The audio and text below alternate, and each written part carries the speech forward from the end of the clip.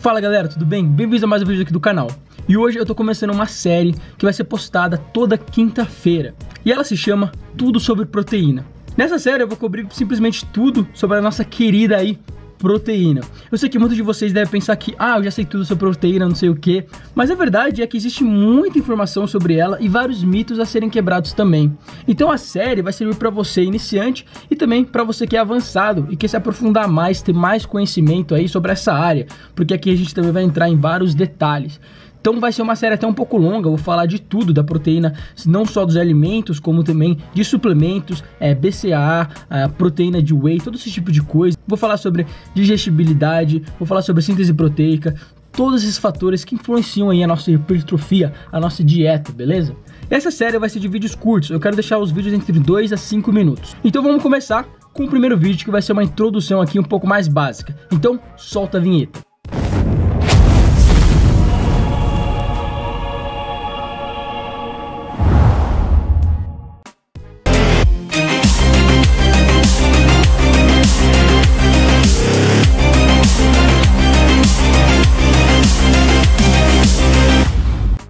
Proteína vem da palavra próteos em grego, que significa o primeiro, mostrando a sua importância primária na nutrição humana. Ela faz parte do grupo de macronutrientes, carboidrato, proteína e gordura.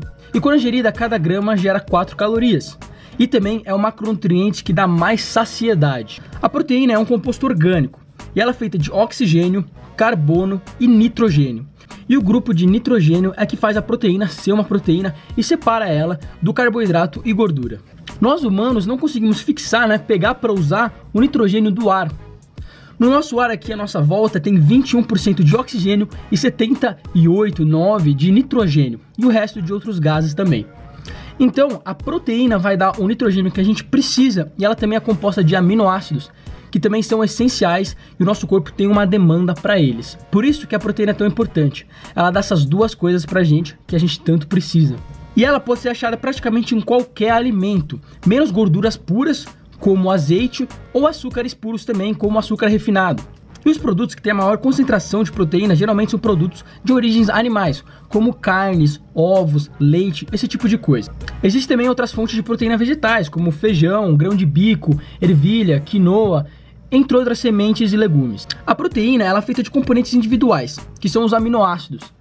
E esses aminoácidos se ligam uns aos outros formando uma corrente, né, uma cadeia, que isso é a proteína.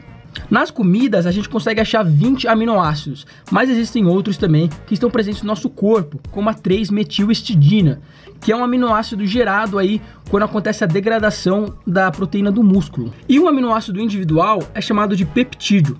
Quando tem dois, é um dipeptídeo, três tripeptídeo e mais que isso vira aí um polipeptídeo. Agora, dos 20 aminoácidos que a gente acha na comida, 8 são essenciais. Algumas pessoas vão falar que 9 são essenciais porque a histidina ela só é essencial para crianças. Então, para nós, né, a gente que já não é criança, só temos 8 aminoácidos que são essenciais para a gente. E o que significa isso? Significa que esses aminoácidos a gente não consegue produzir, o nosso corpo não produz, a gente precisa obter eles por meio da dieta, por meio de alimentos. Então, essa é a lista de aminoácidos essenciais e não essenciais. Porém, alguns aminoácidos podem se tornar essenciais. E eles são chamados de aminoácidos condicionalmente essenciais, ou seja, eles têm uma condição para se tornarem essenciais. Um exemplo deles é a glutamina.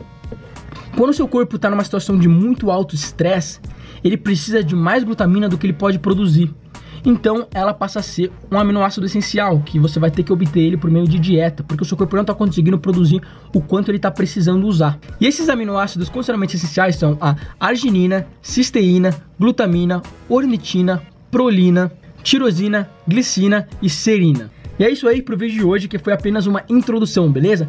Então na próxima quinta-feira vai ter mais vídeo, mais informação e a série vai continuar. Então deixa seu like se você curtiu essa ideia, comenta aí nos comentários se você tem alguma dúvida pros próximos vídeos. E é isso aí, tamo junto, até o próximo vídeo.